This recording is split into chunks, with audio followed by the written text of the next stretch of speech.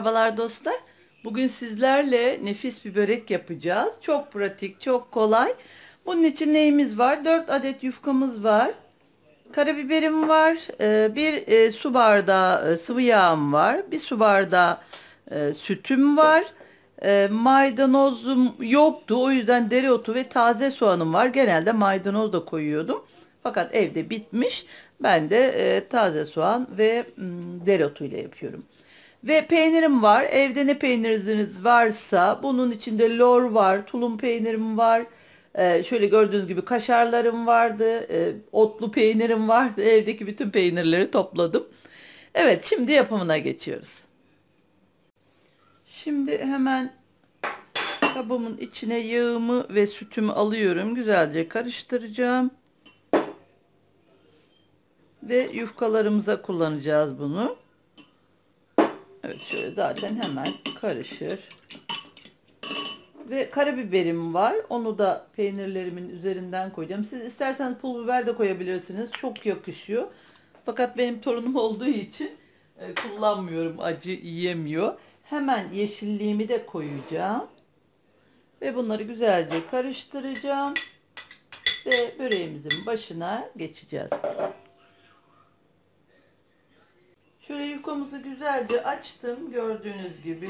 Süt ve yağ karışımımdan her tarafa gelecek şekilde şöyle döküyorum. Bolca dökelim ki güzelce ıslatsın, yumuşacık böreğimiz olsun. Bir de benim bu paket yufkası eğer açık yufka alırsanız e, çok daha yumuşak, çok daha kolay olacaktır işiniz. O yüzden bunu iyice bir ıslatmam lazım ki kırılmasın. Şöyle gördüğünüz gibi her tarafını ıslattık. Şimdi katlayacağız. Bu yöntem çok güzel ve çok kolay oluyor. Mutlaka deneyin. Gördüğünüz gibi kırıldı. Evet şimdi tekrar bu tarafını da yağlayacağız.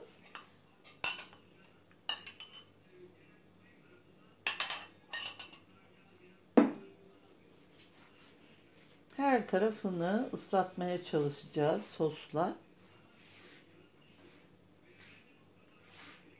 Bunu böyle isterseniz fırına koyun, isterseniz tavada yapın. Her iki şekilde de çok güzel oluyor.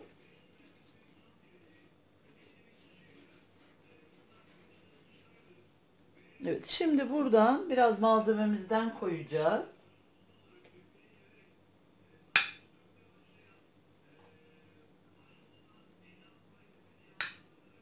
Malzemeyi ne kadar isterseniz o kadar koyabilirsiniz. Veya farklı iç malzemesi de kullanabilirsiniz. Evet şöyle. Şunu şöyle kenara alacağım. Masam biraz küçük gelecek. Daha doğrusu yufkalarım çok büyük. Bunu da şöyle açıyoruz. Aynı diğerinde yaptığımız gibi bunu da güzelce yağlayacağız.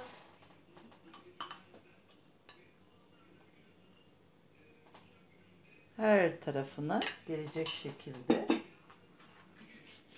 mutlaka her tarafını ıslatın. Tel tel oluyor böreğiniz. El açması gibi. Evet, sanırım her tarafı ıslattık.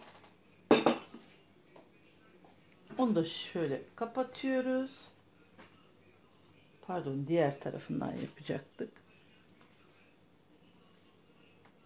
Şöyle kapatıyoruz. Bu taraftan da aynı şekilde ve tekrar iç malzememizden koyuyoruz. Gene ortasına.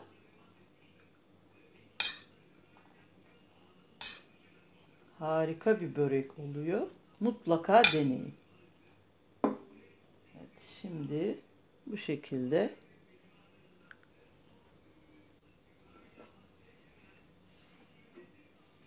Şöyle burasını da yağlayacağız. Sanırım unuttuk.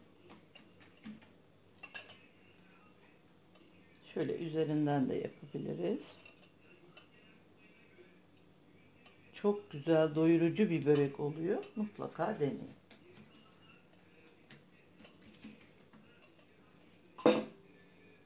Şimdi şöyle kapatıyoruz. Daha sonra diğer tarafı alıyoruz. Sırayla şöyle kapatıyoruz. Aralarından da yapacaktık. Bugün ben her şeyi unutuyorum. Tekrar şöyle hafifçe açayım. Zaten ıslanmış iç kısımlarını yaptığımız için. Şöyle yapacağız. Ve buradan da yapıyoruz. Gördüğünüz gibi kalın, tel tel harika bir börek oluyor. Evet bunu da kapatıyoruz. Evet diğer yufkalarımızı da aynı bu şekilde yapacağız. Evet dostlar şöyle gördüğünüz gibi iki e, yufkamı da yaptım. Dediğim gibi tavada da yapabilirsiniz, fırında da yapabilirsiniz.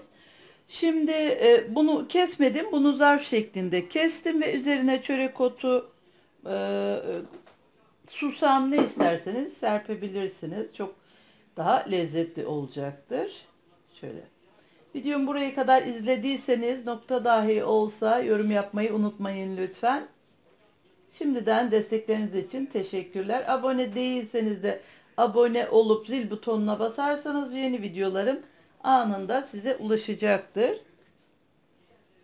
Yeni videolardan haberdar olmak için mutlaka e, takibinizi bekliyorum.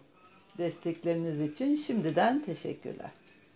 Evet şimdi bunları fırına sürüyoruz. Evet şimdi fırına sürüyoruz. Evet dostlar böreklerimizi fırından çıkardık. Çıtır çıtır puf gibi kabardılar. Görüyorsunuz. Evet bugünlük de bir videonun sonuna geldik. Yeni videolarda buluşmak üzere. Hoşçakalın.